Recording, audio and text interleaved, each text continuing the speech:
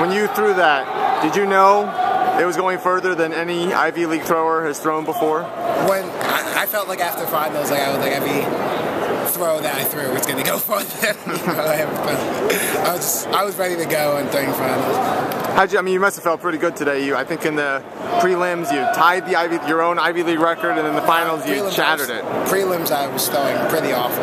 Like, Really? Yeah, it was not a good day for me. And then like finals came, and I was just like, it's time to go. Like I have nothing to hold back. I have three shots at League title because I just keep the indoor title just keeps eluding me, and I keep getting second. So I was like, this year, like I have three shots, and I, I took all three.